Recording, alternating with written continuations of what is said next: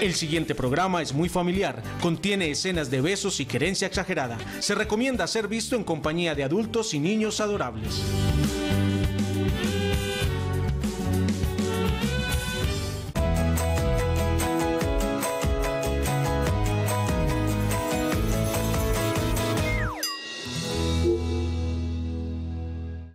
Nos unimos en un arrullo para abrir juntos un camino. Yo te ayudo llanto y caídas, entre risas, besos y abrazos, juntos nos gozamos la vida paso a paso, construyendo desde el amor, paso a paso, para hacernos la vida mejor, paso a paso.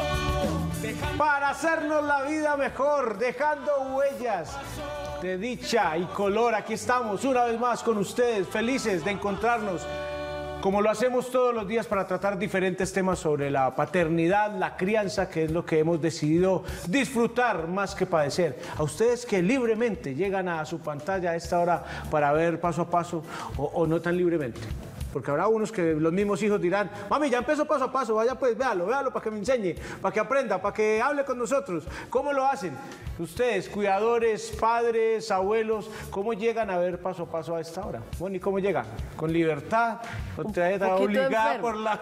Un poquito Hoy enferma, un poquito No, pero estás mejor ya, hoy estás mejor. Hoy estoy un poquito mejor, ahí va pasando, va pasando esta peste tan berrionda. Lo que sí veo a Leo es bastante contento, nervioso, ¿qué? Eh, ansioso, ansioso, más que cualquier Ya. cosa es ansioso. Hay un que- parto es que hay estamos que dar a cuando Un luz. parto hay que dar a luz, ya casi se acerca la hora. Estamos como en qué, Eh, seis, ya siete, siete de dilatación, dilatación. sí, llevo tres sí. de pito, sí, no sé qué, qué sigue, qué me falta, usted tiene más La experiencia que yo. anestesia, La anestesia, yo, eh, necesito cuatro dulas. Bueno, para quienes no saben, Leo presentará hoy por primera vez en la vida y en el mundo entero su obra No nos digamos mentiras. Eh, están muy invitados, todos cordialmente por Leo, a participar desde ya en este programa porque Leo, él mismísimo, les va a dar boleticas. No nos digamos mentiras, corazón. ¿Qué, coste que tengo que estar ahí? Eso es una hora para que la verdad sea dicha. Tengo ¿Y qué hasta las dice? 8 para acabar de sacar. No leo la última palabra. eh, Ni con gafas. y, y posverdades, posverdades. Ahí está. Cañazos, pajazos Es y que ya, posverdades. ya a, la, a, la, a la mentira ya le decimos es posverdad. Bueno, eso estará del cambiamos. 6 al 22 de junio en el Teatro Casa Teatro del Poblado. Hoy hay eh, pases dobles entre quienes nos llamen al final, haremos la rifa para que vayan y lo acompañen. Y quienes no, pues eh, lo ideal es que es más, deberíamos entregar pases sencillos para que compren la otra. Para que cobren la. Sí. Tío, van y disfrutan, invitan gente que apoyar a Leo, hay que apoyar a Leo, se van en combo, vamos todos al teatro a apoyarlo, aplaudirlo. Yo ya le dije que cuente con mi carcajada, pero me va a tocar ir la otra semana porque esta Cuando esté más clara, esa no se alcanzó no hay como carcajada, ser. pero como debe ser y con todo el volumen, allá estaré para apoyarlo. Eh, sé que es una obra a la que Leo le ha dedicado alma, corazón y vida, en la que ha trabajado mucho, eh, que le ha puesto como a todo lo que hace, todo su corazón, todo su esfuerzo. Entonces, pues nada, ahí está la invitación para que vamos a ver a Leito en otra faceta que ustedes se van a, van a ser los primeros sorprendidos cuando vean a Leo en esas y diciendo las cosas que va a decir. Pero bueno, ahí está Leo en su, otro, en su otra versión, un hombre absolutamente polifacético, talentoso y genial. No dice que soy polifacético, yo sí es polinecesitado, pero sí. Bueno, hay que hacer de todo entonces para que lleguen las entraditas y nosotros pues vamos a apoyarlo.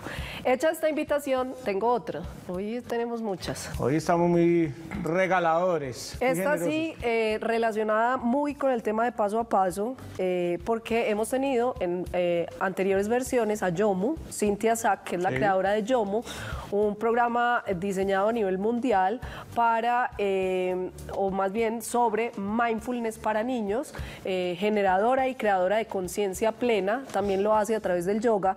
Va a estar este fin de semana en Medellín dictando una certificación. Dice, prepara a tus hijos para enfrentar retos como el bullying, la presión social y el estrés. Certifícate en mindfulness para niños y conviértete en un Yomu Coach. Eh, esa básicamente es la invitación que tenemos en nuestro Instagram. Ella está ofreciendo un descuento muy especial para los seguidores de Paso a Paso del 40% de descuento para el taller que es este domingo de 9 de la mañana a 5 de la tarde en Oviedo. La próxima semana Cintia va a estar con nosotros acá en el set de Paso a Paso para hablar de un tema interesantísimo de hoy en 8, justamente el jueves, lo tenemos reservado para ella. Y ese día vamos a también tener eh, posibilidad de algunas entradas para el próximo taller, que no recuerdo bien si es en septiembre o en noviembre, pero ya están súper prometidas eh, algunas entradas para los televidentes de Paso a Paso. Entonces, quienes quieran certificarse este fin de semana en, la, en el Instagram de Paso a Paso, encuentran la instrucción y qué deben hacer para obtener el 40% de descuento. Docentes, cuidadores, papás, mamás, eh, que tengan algún niño a cargo, esto es importantísimo. El tema de la inteligencia emocional vista a través del mindfulness, pues vale la pena invertir en nuestros hijos. Y también nosotros que a veces no sabemos cómo manejar esto, cómo acompañarlos, pues es la oportunidad para que se certifiquen como Yomu Coach. A Cintia Sack y a todo su equipo, muchísimas gracias. Por aquí los esperamos el próximo jueves. Ahí quedan para que ya quedan en libertad a partir de este momento a decir para que se comuniquen con nosotros en el 268-6033 porque hablando precisamente de libertad encuentro aquí unas frases. Dice, la libertad está en ser dueños de la propia vida. Platón, ¿conocen a Platón? ¿Hay alguna vez hablar de Platón? La libertad consiste en poder hacer lo que se debe hacer. Montesquieu. ¿Qué es la libertad? ¿Cómo educar a nuestros hijos en libertad? Pues ese es precisamente nuestro tema de hoy. Hay varios tipos de libertad. ¿Cómo enseñamos la libertad? Todos los días estamos diciendo no, no, imponiendo normas, reglas. Para enseñar la libertad es necesario tener normas, Llámenos al 268-6033 y comparta con nosotros sus inquietudes, sus experiencias, porque ese es nuestro tema, cómo educar a nuestros hijos en libertad. Pues vamos a ver este video que nos conecta de entrada con este tema tan interesante, porque a veces nos vamos a los extremos, entonces nos volvemos sobreprotectores eh, o nos paramos en el, el lado del autoritarismo. Eh, programa que hicimos sobre los estilos de crianza y que pueden ver en YouTube. Hoy vamos a concentrarnos en cómo educar a los hijos en libertad. Pues ahí está nuestro video con el que nos conectamos para hablar de educar a los hijos en libertad. Antes de presentar a nuestra invitada, vamos a la línea porque ya tenemos llamada en el 268-6033. Luisa, mamá de Miguel Ángel y de Samantha, está ahí con nosotros. Bienvenida, Luisa. ¿Cómo estás? Buenas, buenas tardes. ¿Qué edades tienen Miguel Ángel y Samantha, Luisa? Miguel Ángel tiene 10 años y Samantha tiene 5. Perfecto. Apenas inicia nuestro programa. ¿Quieres contar alguna experiencia o tienes ya alguna pregunta relacionada con esto de educar en libertad?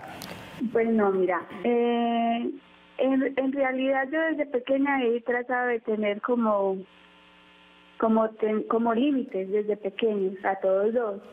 Entonces no es eh, com- como, se dice como desde chiquitos como enseñarles y ellos ya cuando están más grandes empiezan como a hacerlo por sí solos. Entonces no es como ni regañarlos ni, ni nada de eso, sino como desde pequeños mostrarles eh, como el camino de evitar los problemas. Si no haces algo, evitas eh, que te pueda pasar las consecuencias que se dicen. Muy bien, Luisa, gracias por tu aporte. Hoy nos sirve a manera de introducción como vida real porque nos vamos de una vez con nuestra experta en paso a paso.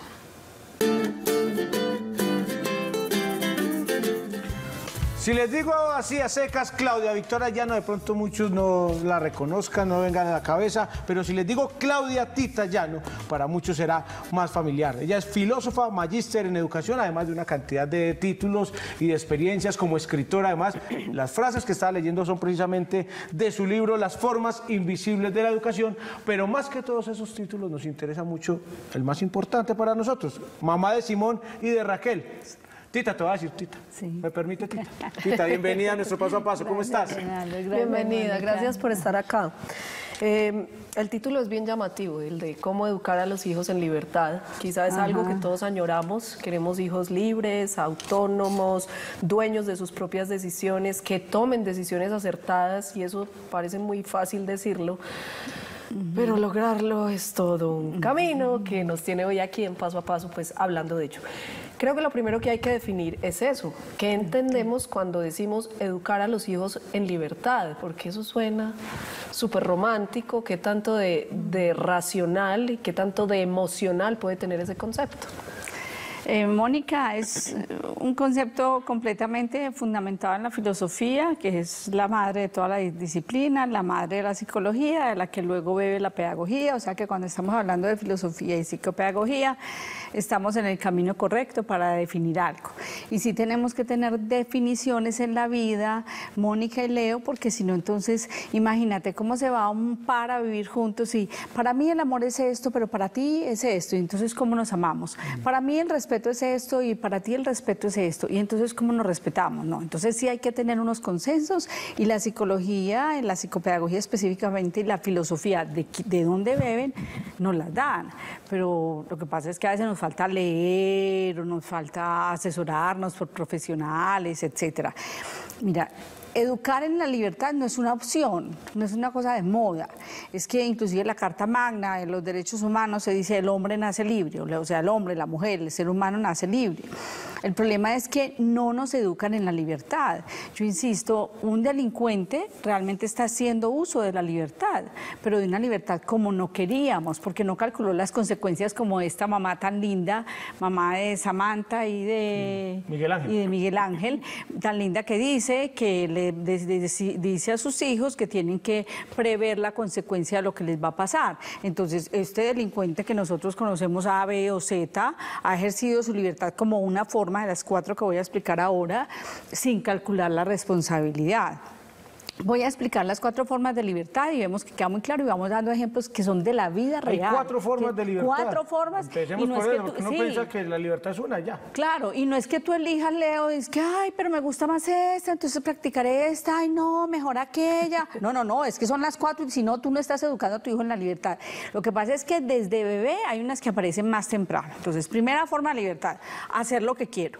E inclusive voy a decir cómo hay papás que no están educando en esa forma una vez que vulneran esa forma de libertad. Hacer lo que quiero es coger el juguete que quiero, comerme la, papilla que quiero. ¿Cómo así que comerme la papilla que quiero? Ya más de una mamá debe estar así. Pues, ¿qué es ese programa? ¿Cómo así? ¿Cómo que comerme la papilla que quiero? Sí. Pues sí, o sea, si el pediatra te dijo que manzana, papaya o pera, o sea, ¿por qué no tienen las tres frutas en la nevera? ¿Y por qué no hoy le dice al nene, que le nene. Y el nene escoge la pera y ejerció su libertad. Y nos, damos, nos vamos dando cuenta que le gusta más la pera que la papaya. ¿Cuál es el problema? Pero hasta en esas cosas, no, dijo que manzana, pera y papaya. Manzana lunes, miércoles y viernes, papaya no sé qué, y el martes no porque no hay, está muy cara. Pues ya, pues ya de una vez coartamos una, una libertad. Jugar con lo que quiero, cuando están más grandes, decidir qué quiero. Diga al niño que quiere ser bombero a los 8 o 9 años. Todos salen a comprarle disfraz de bombero y bombero y van y, y, hasta le hacen pues la escenografía de la casa incendiada de bombero. Vaya, diga a los 18 años que quiere ser bombero. Ah, no, no, no, es que eso era cuando era el disfraz de abril y de octubre, eso ya bombero ya no. O sea, y hay papás con sus hijos adolescentes diciéndoles qué es lo que tienen que estudiar. Muchos. Muchos, tristemente, e inclusive muchos de una condición sociocultural en que resulta escandaloso porque son son personas que han tenido la oportunidad de estudiar e inclusive asesorarse por profesionales para ver que es violento decirle a un hijo qué es lo que tiene que estudiar porque eso es lo que produce dinero o no lo produce. Y yo le pago la carrera si estudia lo que ah, yo quiero. Sí, no, ah, ah, no, ha habido extremos de esos, extremos de eso, Leonardo, eso es violencia, eso es violencia intrafamiliar, pues eso lo deberían eh, censurar. Entonces está esa primera forma, hacer lo que yo quiero. Y vamos a dar ejemplos como para irlos despachando, aunque al final del programa sé que tenemos pues guardado ese esa tandita. Em, en, los, en, las, en, las, cositas más sencillas, o sea, voy a ir a comprar un sonajero, vamos a la tienda de regal, de, la tienda de juguetes, dentro de un presupuesto, sí. Cojo los dos que yo puedo comprar y le muestro al niño, este, este, que, que, este, este, este, sí. Y hay el límite, que la mamá que nos llamó la mamá de Samantha y Miguel Ángel. Nos acordamos más de sus hijos que de la mamá. A ver, ¿te acuerdas del nombre de la mamá? Luisa. Ah, me ganaste. Ah, Yo te quería robar una boleta de esta noche por cuenta de esa, de esa apuesta. Tiene, tiene 40 minutos para, para, Para ganarse la boleta. oportunidad. Bueno, listo. en el corte va y llama. Tienen que llamar para participar por las boletas de Leo. Listo. Entonces, mira, ella decía, ella decía que se ponía un límite. Ahí hay un límite natural, que es el precio. El precio es este. Y el niño escoge el otro sonajero. No, mi amor, ya te dije que entre estos dos. El Las yogur, opciones de las el que hablaba el yogur, video Las también. opciones, las opciones, listo. Segunda forma de libertad es, ah, bueno, entonces esa forma de libertad, hacer lo que yo quiero, en realidad se cumple si yo logro hacer lo que yo quiero y si no, no. O sea, un preso en este momento con un grillete acá, pues o sin grillete, encerrado en la cárcel, no está ejerciendo esa forma de libertad, no está haciendo lo que quiere, no está saliendo donde quiere, no está comiendo lo que quiere, listo. Segunda forma de libertad que parece como, como un trabalenguas, es querer lo que yo quiero. Y eso parece absurdo, pero son mis sueños, respetar mis sueños. Y a los niños también desde pequeños se les vulneran mucho los sueños, cuando son sueños que van contrarios a las costumbres de la familia y se relaciona con algo de lo anterior. O sea, yo quiero ser bailarina, yo sueño con que en el mundo todos tengan casa. Ay, vea, ya no salió una comunista en esta familia. Eh, mamá, yo sueño con que ir a la luna. ¿Usted con qué, mija? ¿Usted con qué, mija? La luna que vive es usted. Ahí es donde vienen las frases esas que yo tengo en el libro que condenan tanto. E inclusive nosotros entre los adultos tendemos mucho a condenar los sueños. e- En ambientes laborales incluso. Entonces Leo puede decir, yo sueño cuando en Telemedellín no sé qué, y Mónica le dice, siga soñando, papito, siga soñando, papito. Pues para saber Sueña que tu, sí, que tu trabajo de esta noche es el producto de un sueño. Pues estamos montados en los sueños de otros, o sea, este plástico, de este cubo, de este piso plástico, lo soñó alguien hace muchos años cuando pensó que se podía procesar cierto material, o sea, eso es un irrespeto a los soñadores, ¿sí? Entonces, respetar que yo quieras hacer lo que yo quiera, o sea, el derecho a hacer lo que yo quiera, o sea, a, so- a soñar, a soñar. Tercera forma de libertad con la que los papás pueden hacer mucha cosa realmente, y ahí entra el límite y entra la responsabilidad. Me dicen si antes o después de la pausa, es el, parece otra vez trabalenguas, es el querer lo, lo que no quiero y el no querer lo que quiero. Querer Entonces, sí. lo que no quiero. Y no querer lo que quiero. no Pero más que rompecabezas es algo muy interesante. Yo no quiero madrugar, de pronto muchas veces Leo y, Mar- y Mónica no quieren madrugar para estar en el programa o en las obligaciones de Telemedellín, pero quieren algo más allá de eso, que es que sí quieren estar en Telemedellín. Entonces, no quiero eso que quiero, o sea, no voy a querer eso que no, voy a querer eso que no quiero, no quiero levantarme, no quiero levantarme, pero voy a querer levantarme. A veces en un calor nos podría dar en este momento ganas de un ron con Coca-Cola. Además, tú previo, pues, como a, la no- a esta noche, yo creo que un roncito con Coca-Cola así antes de llegar al set, o sea, caería bastante más bien. sano, pero. Eh, caería bastante bien. Pero tú puedes decir, no, no voy a querer eso que quiero. Con los niños eso se maneja bastante bien, porque los niños empiezan con ese levantadito de hombros. Aquí no puede nada, aquí no dice que uno hacer lo que quiere, aquí uno no hacer lo que quiere, y ese colegio que usted me llevó que uno no puede hacer lo que quiere. Ya en esto vamos a atender a Marlen, la mamá de Daniel y Andrés, ya en esto la vamos a atender, terminemos esta esta ideita. Entonces, si uno dice como la mamá de Samantha y Miguel Ángel de ahorita, que se llama Luisa. Ay, segunda vez que no me gané la boleta. segunda vez. Entonces, vamos a darle la, la- la salida, Leonardo. ¿no? A Marlene, Recibamos por entonces a favor. Marlene. Marlene, que está ahí con nosotros en el 268-6033, mamá de Daniel y Andrés. Marlene, bienvenida, ¿cómo estás? Hola Leo, muy bien, gracias. ¿Cómo han estado? Muy bien, muchas gracias, Marlene. ¿Qué edades tienen Daniel y Andrés? Daniel tiene nueve años y Andrés tiene tres. Perfecto. ¿Y tu pregunta, tu aporte a nuestro tema hoy? Eh, bueno, algo que, que quiero resaltar y que veo en la experta es el tono de voz en el que uno le habla a los hijos. Considero que es supremamente importante. ¿Por qué? Porque la libertad no es, no es permisividad para mí, ¿cierto? Pero la libertad implica un diálogo y es explicarle al niño el por qué no estoy haciendo lo que él quiere, porque Los hijos siempre quieren que uno haga lo que ellos digan. Para mí, en el caso de Daniel Felipe, cuando se enoja, yo le digo, hijo, ¿por qué te enojaste? Porque tú no haces lo que yo quiero. Y yo le explico a él porque como mamá no puedo hacer lo que él quiera. Y eso eh, me ha ayudado mucho pues en la crianza de mis dos hijos. Mm, y quiero ir a ver a Leo. Ahí queda planilla, ahí queda anotada, Marlene.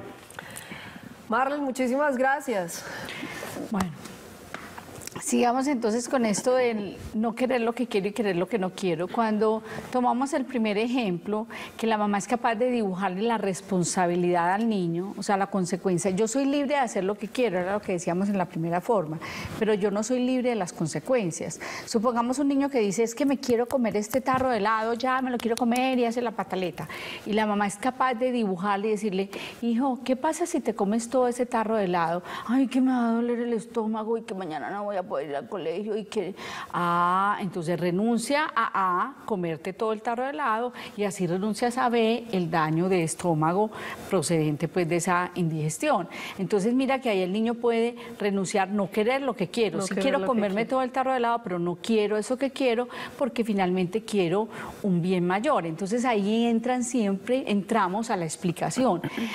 Eh, el pacto social creado por Rousseau, pero ya estaba planteado por otros filósofos, es la renuncia de mi yo. O sea, yo sé que en este momento algo que me dice Mónica me disgusta y yo le puedo arrebatar esa tabla y darle con ella en la cabeza. Dime que no puedo hacer eso, Mónica. No, pues ¿cómo?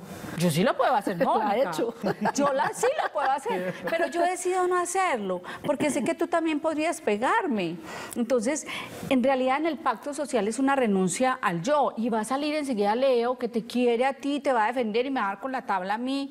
O sea, en el pacto social renunciamos a mi egoísmo, renunciamos a que yo no voy a resolver las cosas contigo con golpes, con golpes. Hay una renuncia a mi yo. Entonces es muy bonito que los niños desde pequeñitos, una tendencia natural que tienen, ya voy a decir cómo se les ejercite en crear ellos mismos las normas. Cuando el mismo niño es el que ha creado las normas, ¿tú qué crees que pasa si esto? ¿Tú qué crees que haríamos si esto? ¿Tú qué crees que podemos hacer para que el helado, el tarro de helado dure toda la semana? El niño fácil, fácil te dice, mamá, que solo se come una o dos cucharadas diarias y no están el miércoles peleando Juan y Luis porque este me dejó sin helado y el helado ahora hasta el sábado y no sé qué. O sea, uno los puso a pactar, a crear normas. De hecho, es una cosa tan natural que a veces estamos en un paseo los adultos, poniendo cuidado obviamente a los niños, y si descuidamos un ratito de nuestra conversación y miramos a los niños, vemos que están de manera natural creando normas.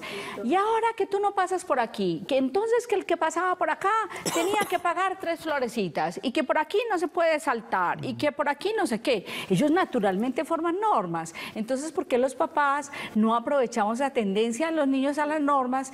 Nos aísla, nos ponemos atrás un poco y decimos, creen la norma. Llegan el, el niño a quejarse de algo, la niña a quejarse de algo. Bueno, ¿y ustedes qué norma creen que podamos crear para que no haya discusión? Una vez que son normas creadas por los mismos niños, que son reflexionadas por los mismos niños, esa norma se cumple. Entonces ya ahí tenemos libertad con norma, ¿sí? Vamos en la tercera. Tercera.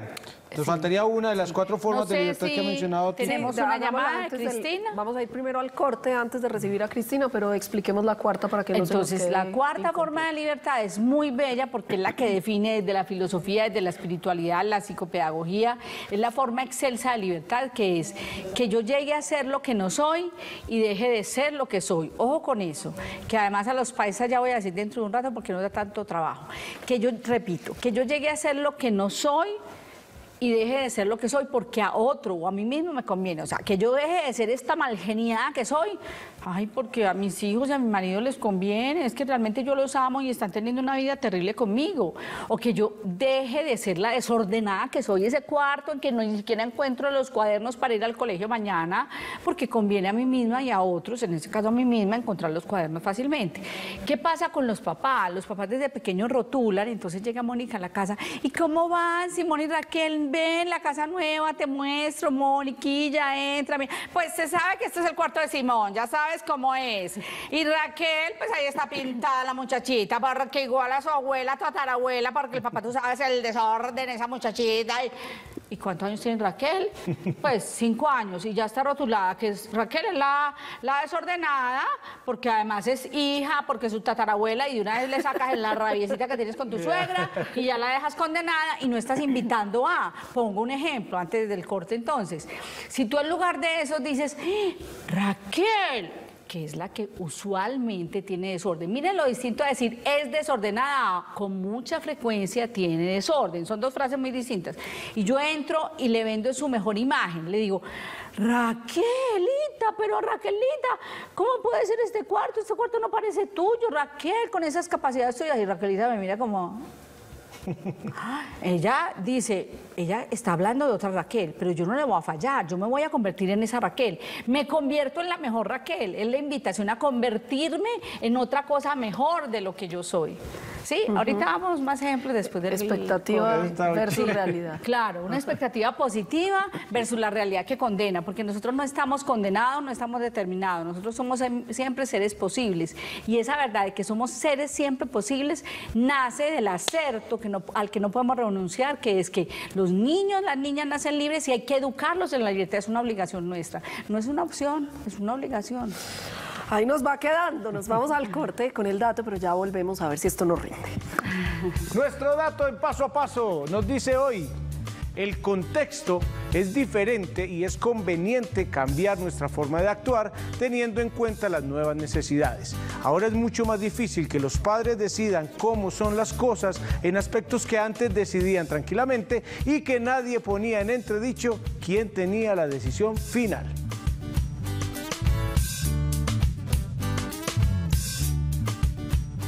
Estás viendo Paso a Paso.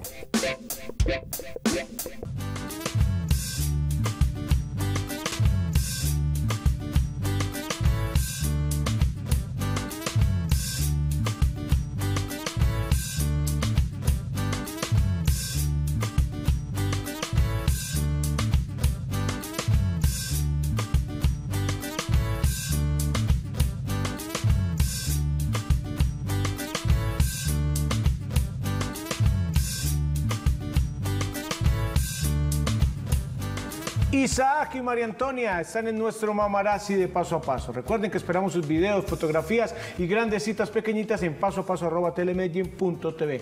268-6033 en nuestra línea. Y ahí está Cristina, mamá de Emanuel y Tomás. Cristina, ¿cómo estás? Bienvenida. Escúchanos por favor Leo, por el ¿cómo teléfono. están? claro que sí. Adelante Cristina, te escuchamos. ¿Cuál es tu pregunta tu opinión con nuestro tema?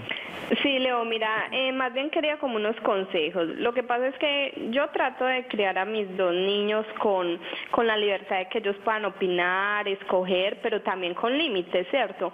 Y tengo dos inconvenientes que por eso quería los, consejos. El primero es que a veces mi esposo cuando está de mal genio o algo, eh, por ejemplo, manda a uno de los niños, no, acuéstate ya, y yo, pero si todos estamos en la sala, es que no, es que él tiene que hacer lo que yo diga. Y yo, pero si estamos todos juntos, ¿sí me entiende? Entonces, bueno, ahí no puede uno intervenir. Y el otro es que, por ejemplo, con los abuelitos ya son como alcahuetas, porque yo pongo límites, o sea, si esto yo veo que es un peligro y no se puede hacer, yo le explico y no lo dejo que lo haga. Entonces los abuelitos son, no, déjelo que haga lo que quiera, que eso se le va pasando, eh, a medida que él crece eso se le pasa, déjelo, déjelo. Entonces ahí como que chocan muchas formas de crianza, entonces ahí es donde uno se confunde. Y ellos se confunden más que uno, porque no saben cómo a quién, a qué tipo de crianza hacerle caso. Entonces, bueno, quería sus consejos. Cristina, muchísimas gracias. por participar. Ah. Los niños son tan inteligentes que son capaces de diferenciar, eh, sucede inclusive con el lenguaje. Voy a poner un ejemplo que nada que ver, pero que es muy simple. Los mm, padres que están educando en el bilingüismo a los hijos por necesidad, porque viven en un país en que en realidad hay que manejar los dos idiomas, una lengua materna que no se quiere perder, que psicológicamente no se debe perder, y una lengua del país en el que estén, y deciden que el papá es el que habla una y la mamá habla otra, y dicen lo mismo, y los niños son capaces de, de diferenciar eso. Tomo el ejemplo que nada tiene que ver pues, con lo de la libertad para esto. Los, los niños sí son capaces de darse cuenta que la mamá es más laxa para esto y más estricta para esto, el papá es más laxo para esto, más estricto, pero mientras eso sea fijo, o sea, la mamá es laxa para esto y fija para esto, o sea, con esto se sabe que no es negociable con la mamá y esto se sabe que no es negociable con el papá, o sea, eso les da seguridad, o sea, porque tienen cómo formar su estructura, su escenografía. No importa que entre ambos no estén de acuerdo. No, pues. ya, voy a, ya voy a decir cuando se complica. Y también se dan cuenta que los papás son, que los abuelitos son más relajados en ciertas cosas y que dan ciertos permisos. Entonces, ellos tienen esa capacidad y tienen la capacidad de acomodarse a esas disciplinas. Es que de hecho nosotros mismos en el trabajo sabemos que con el, con el jefe tal podemos llegar a negociar esto, pero con el jefe tal esas cosas no se negocian. Con este jefe puedo obtener este permiso, con este compañero no. O sea, eso es inteligencia social, eso es inteligencia emocional, la flexibilidad de pensamiento, mientras todo sea lícito. No estoy diciendo que es que permitamos que los abuelos dejen que los niños no, no eh, por ejemplo, una familia vegetariana y ya tienen todo analizado y les den toda una cantidad de carne el fin de semana cuando hay unos papás que se han cuidado en que esa familia va a ser vegetariana toda una semana. Eso ahí sería un irrespeto por parte de los abuelos. Pero en otro tipo de cosas que, son, que tienen resultado inocuo, es que es inocuo. Por ejemplo, lo que dice la mamá de Tomás es pues es lo mismo estar juntitos en la sala o estar juntitos en el, en el, cuarto. Lo que estábamos cuidando era que íbamos a estar juntitos. Entonces, ¿qué es lo que prevalece? La lógica. Y ojo que los niños siempre nos reclaman las cosas con lógica. Y como nosotros estamos cansados, no empleamos la lógica sino la emoción y les damos respuestas completamente emocionales. Es más, decimos una cosa terrible que es porque sí, porque sí, punto, porque yo lo dije, porque sí, porque no.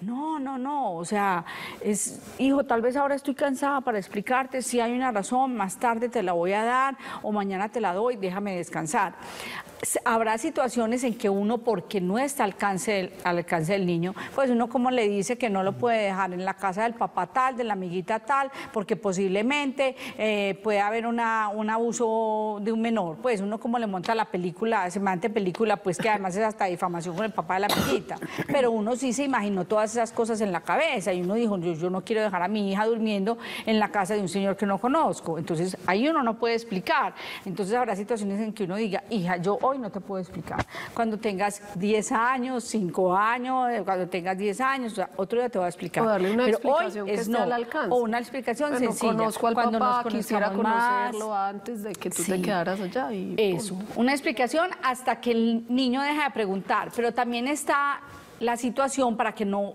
pongamos esto como toda una ilusión, está la situación, es que, ¿sabes qué? Yo no te puedo explicar. Yo quisiera. Y sabes qué, yo ya te expliqué este pedacito.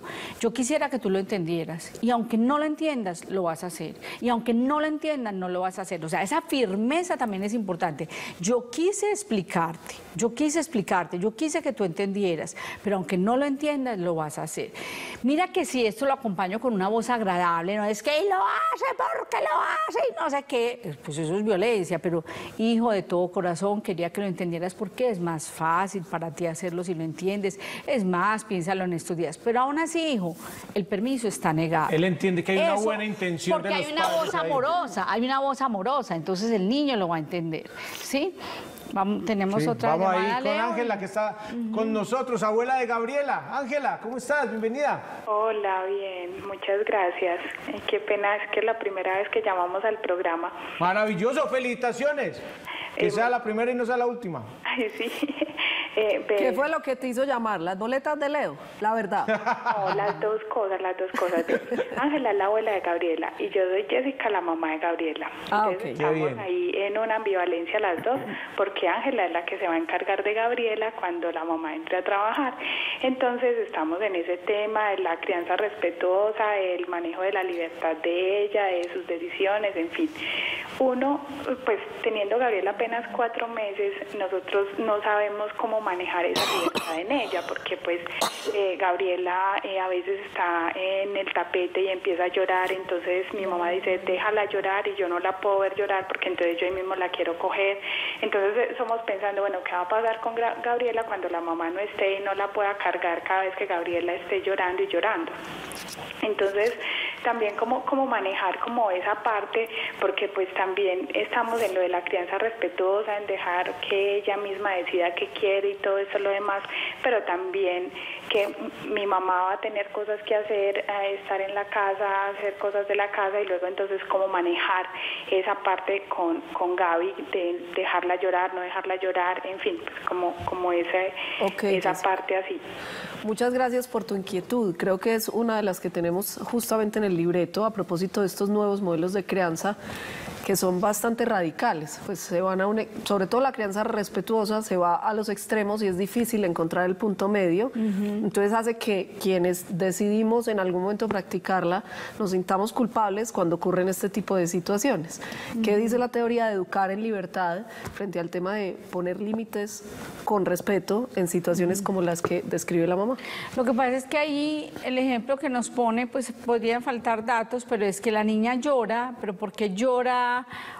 horas, horas y alguien puede decir, si la niña llora, debe haber alguna razón para llorar. Si la niña llora por algo que es un capricho, quiero tal muñeco, quiero tal helado, pues esas cosas tienen que entrar por la vía de la lógica. O sea, siempre si esto entra por la vía de la lógica, es que creemos que el niño es bobo, que el niño es tonto. El niño tiene una lógica que va creciendo y que más crece si uno la incentiva desde pequeño. ¿Qué crees que va a pasar? Vean, pongo el ejemplo de lógica de un niño de dos años. Un niño de dos años va y el pelo al amiguito. ¿Y uno qué hace? Muchas mamás, muchas mamás cogen y van y le jalan el pelo a su propio hijo. Vea, ¿por qué le jala el pelo? Si vea, si se siente, si se siente. Bueno, Piaget y Nelder, que han sido unos grandes teóricos en la, el desarrollo de la psicología moral del niño, de hecho, ese ejemplo lo tienen, lo desarrollan de otra manera. Voy a pegarme el ejemplo para lo siguiente. Si la mamá tiene dos años el niño. Le pregunta, ¿cómo crees que se siente Sebastián, Tomás? Se siente con que le hayas jalado el pelo. Debe estar triste. ¿Crees que va a jugar contigo? No, ya no va a querer jugar contigo. ¿Crees que nos van a volver a invitar a esta casa? No, yo creo que no. Entonces, ¿qué deberías hacer con Sebastián, con Tomás? Pues ve y le sobas el pelito ya, dile que te equivocaste, que tuviste rabia. y es un niño de dos años, lo va a hacer con su media lengua, ta, ta, ta, ta, ta, ta, ta, ta, ta, ta, ta, pero lo está haciendo y está escuchando eso. Entonces, esos límites deben ser mediados, o sea, siempre que haya la certeza del afecto, la certeza del afecto se muestra porque hay un cuerpo próximo. Yo puedo estarle diciendo la negación más grande al niño, eh, absteniéndolo de algo, sancionándolo de algo, ah, de algo, haciéndolo reflexionar de algo. Pero ah, mi cuerpo, la sola proxémica, mi cuerpo está cercano al niño, mis manos no están cruzadas, mi, cara no está tensa, o sea, o, si no, mi cara está atendida, está cercana hacia él, los ojos lo miran amorosamente, o es más, lo tengo aquí cargado. Pues, ¿quién dijo que porque hizo eso no merece cargarlo? Pero mira, lo está regañando y cargándolo. Qué linda la frase esa que es, a propósito de lo que nos contabas ahora, Leo, de tu matrimonio, ámame cuando menos lo merezca, que es cuando más lo necesito. porque no puedes estar cargando al niño mientras le das un speech, un sermón, pero muy severo.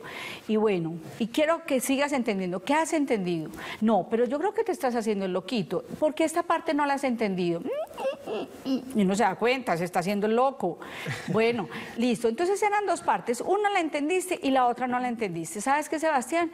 Yo creo que tú eres capaz de entender las dos partes. Yo te di la oportunidad. De todos modos, eso ya está decidido. Mami, con este abrazo te está comunicando que eso está decidido, que esta es la sanción. Yo le recomiendo al público un, texto, porque no, no, es un texto que se consiga públicamente, la UNESCO lo, lo produjo en 1982 bajo el término, bajo el nombre eh, la autonomía como fin de la educación. en uno de los congresos cuya la ciudad sede en este momento no la recuerdo, Constance Camille fue el que lo produjo con todas las ideas de Piaget y Einelder. En ese texto del que no puedo hablar en este momento se hace la diferencia entre castigo y sanción. Es decir, eh, que alguien le jale el pelo a un niño y tú obligues al niño a que vaya y le sobe el pelito, eso es una sanción tiene relación sobar pelito, reemplaza pelito Es lo que jalado. regularmente pelito hacemos nosotros, jalado. No nos damos el tiempo de dar la explicación, pero si me... va a pedirle disculpas. Sí, sí, sí, sí. Sin sí. sin que medie, sin que medie. Pero lo otro es, sería muy distinto. Usted le jaló el pelo, ahora se queda sin carrito y lo hago. ¿Qué- oiga, ¿qué tiene que ver mi carrito con el pelo? ¿Qué tiene que ver mi carrito con el pelo? No, o sea, las cosas se reponen. O tú quebraste el pocillo, ven, yo te voy a prestar esta pega porque yo te había dicho hace rato que ese pocillo era de la abuelita y que no queríamos quebrar. Así tú nunca vuelvas a usar el pocillo, lo escondas por allá atrás. Pero el niño cree que le tocó pegar el pocillo realmente y la pega loca que salga de la plata de él, de la alcancía, mentiras que sale de tu bolsillo, eso ni alcanza y ya, y que él crea que con su plata y pegó, y pegó el pocillo de la abuelita. Eso es reposición, eso es lo que llamamos hoy reposición, esa es la verdadera sanción y la que educa. El castigo no te educa en la libertad, el castigo te hace ir por el atajo, te hace ir por temas como estos que algunos de los que vas a tratar seguramente en tu obra de teatro. O sea, como la mentira es ir por el atajo porque me enseñaron a eso, a no decir la verdad, porque la responsabilidad no tenía lógica ni tenía relación con lo que yo había hecho. Perfecto. Vamos a ir a una pausa, ya volvemos con Tita, nos vamos con nuestra frase en paso a paso. La frase que nos dice, el hombre puede educarse porque es libre y puede ser libre porque se educa. Solo se educa al hombre liberándolo, solo se libera educándole. Ya volvemos a paso a paso.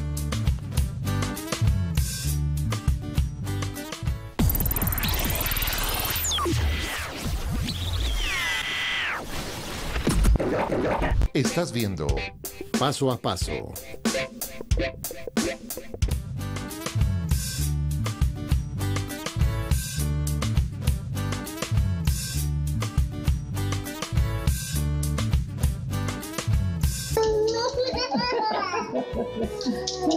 Besánselas a ella. Ay, hoy. Hágale, hágale, hágale. Ay, no. Espectacular, mi. Hágale, hágale, hágale. Ya, hágale.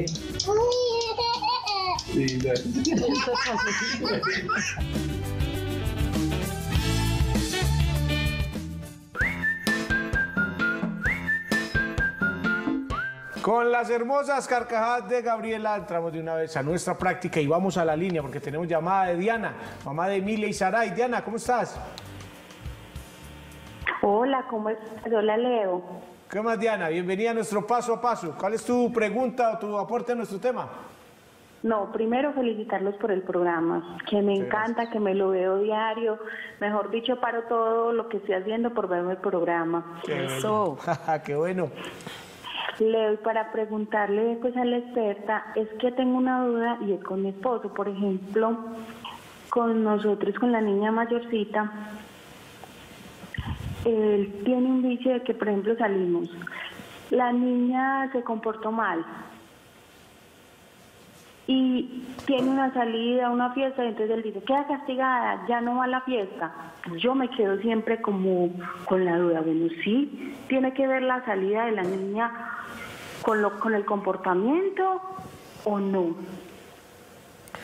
Diana, muchas gracias. Pues es, tiene que ver con lo que veníamos hablando, ¿no? Diferencia entre sanción Sí, y, Y eso es castigo. El castigo es cuando lo que ponemos a hacer al niño, a la niña, inclusive a nivel laboral, nada tiene que ver con, con la acción. O sea, si la niña o el niño se han portado mal, lo que tienen que ir es al lugar donde seguramente hicieron un daño, tiraron basura, gritaron, o sea, quedan privados de las siguientes dos salidas, por decir algo. En una se portaron mal, pues si se siente la sanción, entonces no es que la siguiente salida no salga, sino algo con un costo más alto. Entonces las siguientes dos salidas, tú no vas y te quedas escribiendo como un eh, decálogo de cuál es el comportamiento de salir. No, dígamelo usted, mamá, dígamelo pues, ¿cómo es que hay que salir? No, tú misma vas a pensar cómo se porta uno en la salida. ¿Listo? O sea, mira que hay la reflexión, mira que la sanción es que no va a ir a la siguiente salida de ese tipo y va a tener que escribir.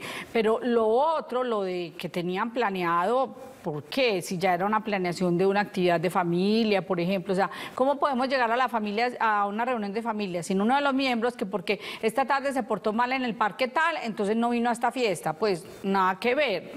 O sea, estamos inclusive haciéndole un daño a la familia. Es el mismo ejemplo. A del- menos que se le advierta antes de salir. Vamos a salir. Si te portas mal, no vas esta noche a la fiesta. Sí, eso es lo que se llama, sí, y eso es lo que se llama que, eh, la sanción por exclusión, o sea, con el comportamiento que estás teniendo no nos estás prometiendo, no estás eh, augurando mucho que tú vayas a relacionarte bien con los compañeros, con los amigos, con los primos y que vayas a tener una buena relación, entonces mejor te vas a quedar en la casa, ¿sí? O sea, no estás haciéndote merecedora de eso, eso puede suceder, ¿sí? Llegamos a la práctica y llegamos a ella para con ejemplos concretos eh, ilustrar esto de educar en libertad. Yo no quiero dejar dos, eh, por fuera dos temas que hemos hablado poquito, que son el de la responsabilidad y el de la norma, pero antes de eso quiero sí seguir enfatizando que es que la educación en la libertad es una obligación, o sea, estamos obligados a educar en la libertad porque el, ser humano nace libre, entonces la obligación es de los padres, de los cuidadores, qué hacer con esa libertad, ¿sí? De hecho, un niño que no ha aprendido a usar su libertad, pues es un niño que no tendrá esperanza, es un niño que será intolerante. ¿Qué es, la, qué es la tolerancia? La aceptación de que lo otro puede ser diferente, de que el otro libremente eligió ser, hacer, sentir, pensar diferente. Un niño que no, que no eh, practica la libertad no es tolerante. Hay otro asunto con el remordimiento que tiene que ver con estas prácticas ahora de, de vida feliz, pero como un derecho, de vida feliz, pero fácil. Entonces al niño se le dice no le metas culpa. No, es que la culpa en filosofía y en educación no se habla bien de la culpa, pero sí se habla bien del remordimiento. O sea, si una persona no es... ¿Qué, qué es el remordimiento? El que me muerda, pues el que yo sienta feo lo que yo hice, porque eso no va con mi mejor ser. Eso da muestra de que yo soy libre. Yo pude haber hecho las cosas de otra manera y las hice feas, qué pesar de mí, qué rabia de mí. Es, dice Fernando González, el filósofo de Envigado, de otra parte que llamamos, es odiar al que fui, pues rechazar al que fui, suena muy feo odiar, pero son sus palabras, rechazar al que fui y amar al que seré. O sea, si hay que dejar que el niño sienta vergüenza, que sienta remordimiento, es que me siento muy mal, mamá, yo creo que sí, yo también me sentiría mal, es que trataste a ese niño tan horrible. Mami, llama tú a la mamá y dile que me inviten. No, yo creo que tú eres el que va a llamar a la mamá, porque es la mamá de ese niño la que debe estar sintiéndose incómoda, ven, yo te marco el número de teléfono, llama, pero le hacemos todo. Entonces, si no dejamos que el niño sufra la consecuencia de sus malas elecciones, ¿cómo va a ser un niño responsable? Entonces, quien no siente remordimiento y estamos en la moda de la felicidad, no, no, nada de culpa, nada de culpa. Todo es que cualquiera se equivoca, no, que sea feliz, oh, que sea feliz, feliz, feliz, feliz. que asumir No hay una, entonces, no hay A, a asunción. mí hay otra cosa que me parece súper grave de ahora y se lo he oído a algunos docentes incluso muy preocupados porque resulta que todo lo que les pasa a los adolescentes y a los jóvenes de hoy es culpa de cómo los educaron. Ajá. O sea, ah, no, es que culpa de mi mamá porque entonces su pasado y ese fue su estilo de crianza. Entonces Sí. terminan siendo personas irresponsables, malcriadas, eh, entendido el término como se debe eh, entender pues de alguna manera, pero echando la culpa al antepasado. sí, sí, sí. no son niños Mira. responsables de sus actos. Sí. Nosotros no estamos determinados, nosotros estamos posibilitados. El ser humano es un ser con capacidad de cambiar. Mira, este cubo, este cubo se queda siendo cubo, porque nació, nació siendo cubo. Este cubo no tiene problemas existenciales de pensar, oh, si yo fuera pelota, si yo fuera mejor chorizo de piscina, no sé qué. No, cubo nació y cubo se queda, ¿sí? Pero los seres humanos nacemos siendo nada. Eso suena, puede sonar muy duro y eso suena es hermoso.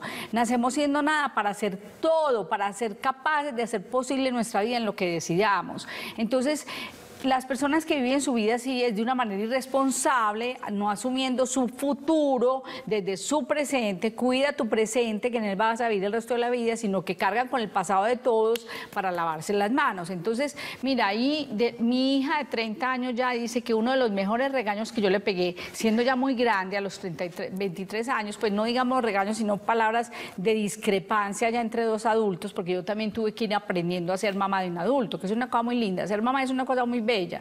Y me llama la atención que los papás hagan preguntas porque yo digo, se las harán siempre. Yo estoy, yo estoy todavía aprendiendo cómo ser mamá de un hijo de 33 y una niña de 30. ¿Cómo no ir respetarlos? ¿Sí? ¿Cómo no ir respetarlos? Entonces me decía ella que lo mejor era cuando yo le había dicho, hija, si ese trauma yo te lo creé, ponle lógica. Yo no soy la que te lo puedo curar, entonces cúratelo tú sola. Me dijo que ella con esa frase se había liberado y se había asumido eso. Hija, yo te creé el trauma, yo no te lo puedo curar, ponerle lógica. Ese es que se asuman ellos mismos y Claro, sean claro. responsables de sus actos. Bueno, creo que a Tita le va, a que, le va a tocar volver. Sí. Está Porque el invitada tiempo para la se nos queda corto. Mucho que conversar. Gracias. Tita, Gracias, muchísimas Mónica, gracias. Podríamos gusto. hacer, creo que un programa entero de ejemplos de cómo educar en Sí, libertad, sí, sí, para qué educar en libertad, cuál es el, el gran fin de educar a nuestros hijos así, eh, pero volverá, seguramente lograremos concretar con ella. Por lo pronto, muchas gracias A por estar acá. Mónica, a ti, Leonardo, muchos éxitos en Muchas tu gracias. programa. Leo, Muchas mucha gracias. suerte. A propósito, quienes llamaron ganaron boleta. Eh, a Leo se lleva los nombres y más tardecito, Leo. Sí, los contactamos. Contactan. y- Listo, perfecto. Leo tiene mil cosas hoy. Nombre del Padre, el Hijo, Espíritu Ah, Santo. Amén. gracias. Leo, que le vaya muy bien. Mucha suerte. De todo el combo de paso a paso estaremos con las mejores energías. Chao, chao. Nos volvemos a encontrar mañana. Chao, chao, nos vemos.